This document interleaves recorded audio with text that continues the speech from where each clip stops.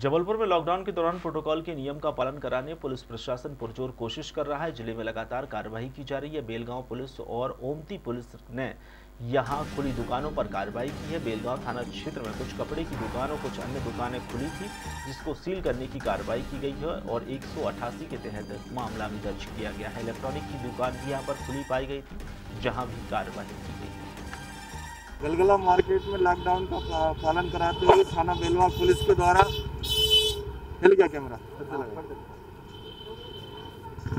आज लॉकडाउन का पालन कराते हुए थाना बेलवा पुलिस के द्वारा अनावश्यक रूप से दुकानें खोलकर रखे हुए पाँच व्यापारियों के ऊपर नियम विरुद्ध तरीके से दुकान खोलने की कार्रवाई की गई है और जिसमें तीन कपड़ा व्यापारी हैं और दो जनरल आइटम के जो दुकान खोल के बैठे थे, उन लोग के विरुद्ध कार्रवाई की गई है।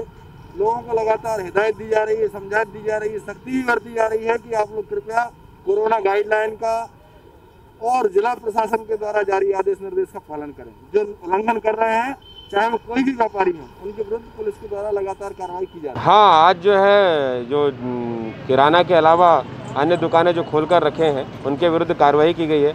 इसमें कई इलेक्ट्रॉनिक्स दुकानें भी हैं अभी एक मेहता इलेक्ट्रॉनिक्स पे भी की गई है और तेजवाला इंजीनियरिंग पे भी जो है एक सौ कार्रवाई की गई है।